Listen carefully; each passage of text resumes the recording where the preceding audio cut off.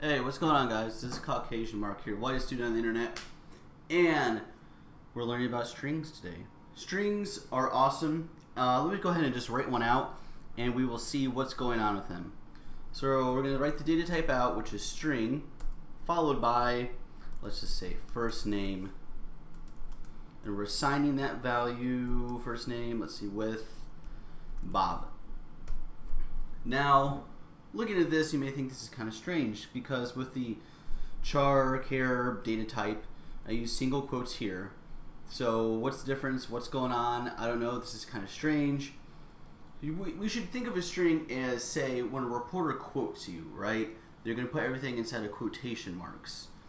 Um, that's probably the best way I can think of this to differentiate it from, say, numbers or other data types because um, a string is not a primitive data type, by the way. That's a very important distinction to make and to know because a string is actually an object.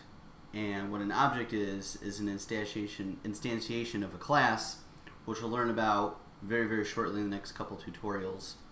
But we have to denote the value differently. We use that using these uh, quotations here thusly. So if we wanted to make, say, a string last name, and his last name is the dude, what we could see here is quite interesting because we could have white space in the middle and it's not giving us an error. So if his last name is the dude, that white space actually does count as a character, which is nice to know as well. But what if we wanted to do something else with the string? Say, bank, okay, string, bank account number.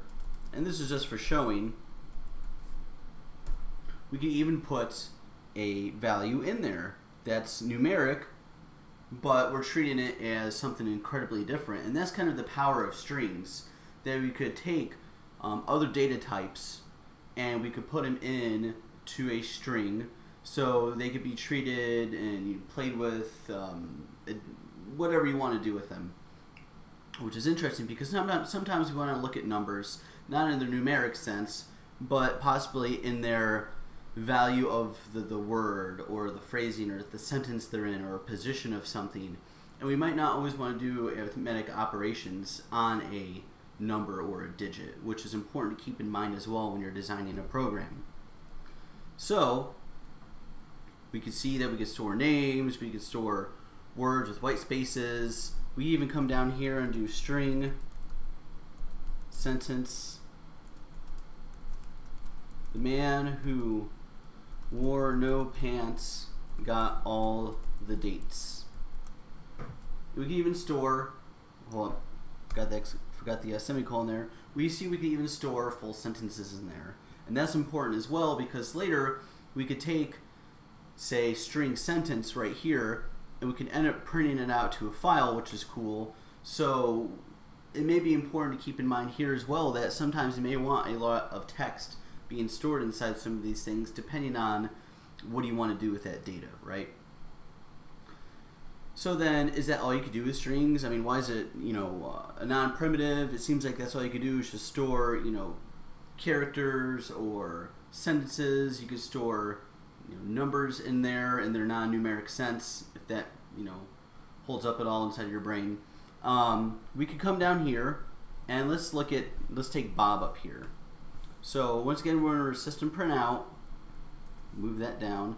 Everything's going to print out down here, which is cool. We're going to come up here and we're going to go typing first name because that's where we stored Bob. We're going to hit dot and depending on your IDE, if you're starting in college, they're not probably going to have you start with an IDE that gives you all the hints and possible methods you could do right there. But screw it, this is easy for all of us, and I'll explain what they do. These are all the things you could do to and with the string Bob. Now, some of them may be more helpful than others, depending on what you want to do. So if we go down here, we could go down and say we want to do Length. How long is the length bob? I hate that thing dropping down from the top.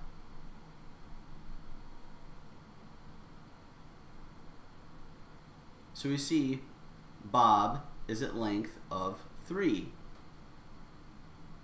Good stuff there.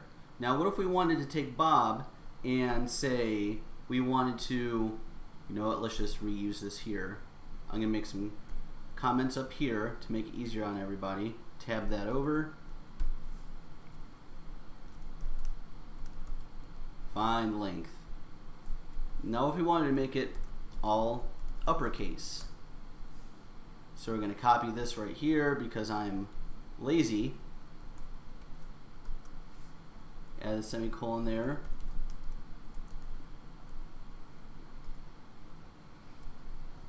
And look right here. We could do, make a two an array there, which we have not learned about. But we could do to lowercase. And what does that look like? It takes the first character here and transfers it into this. And you can see that we get all lowercase down there. And we do the all upper, oh actually that's lowercase. Got ahead of myself there. Good stuff. We uh, Likewise, we do the same for uppercase. So I was going to type it out here, system.out.println. We'll do first name first name dot to uppercase. Awesome, I did it right there.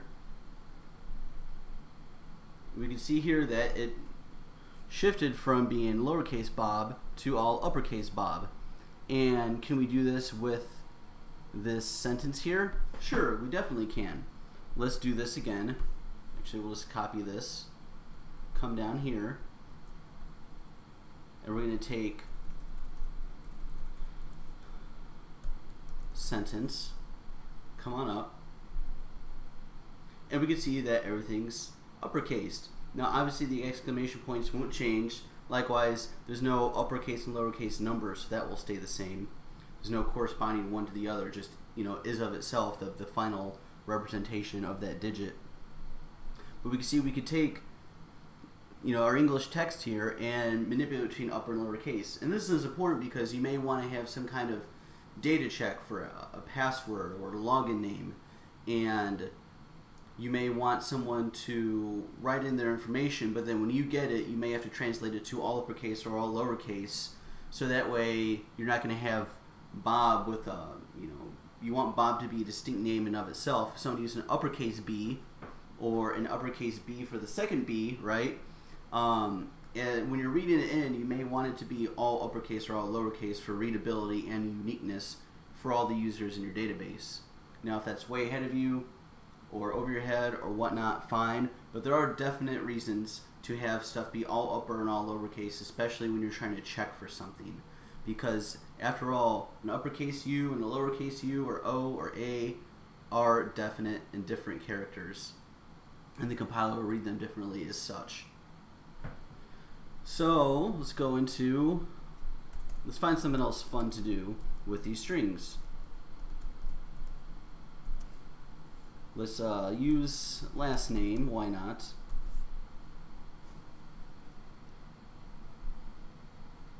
And let's do contains. This is asking, does it contain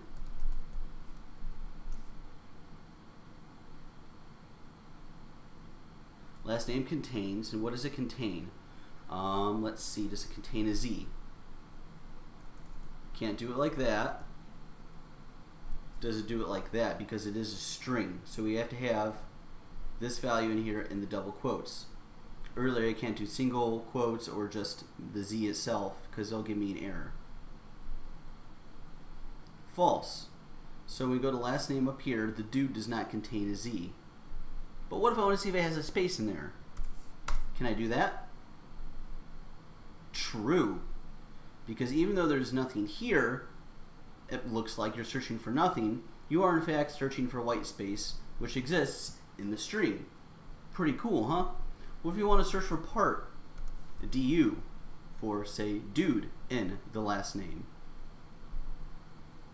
True, it is there because capital D is followed by lowercase u, and that's pretty cool. So my suggestion is, is that you get an IDE like JetBrains, uh, Eclipse, uh, NetBeans, more I'd say advanced one, and you could use your uh, what this is called is a dot operator right here, and you can make a string like I have been. You just type down first name dot. You have all these characters down here, or not characters, but all these methods down here to work with and you can play around with them and see what they do and see how to manipulate your string. But as far as the basics go, that's just let you know what strings are, um, how we use them, how we declare them, and some methods that we could do on them, and what kind of the formation uh, or how uh, the syntax looks when we're creating a string that has a method. Well, this has been Caucasian Mark. Like, share, subscribe, contribute, leave some comments if you have questions. I could always expand any of these tutorials to cover any more topics that you so desire, and I'll see you in the next video.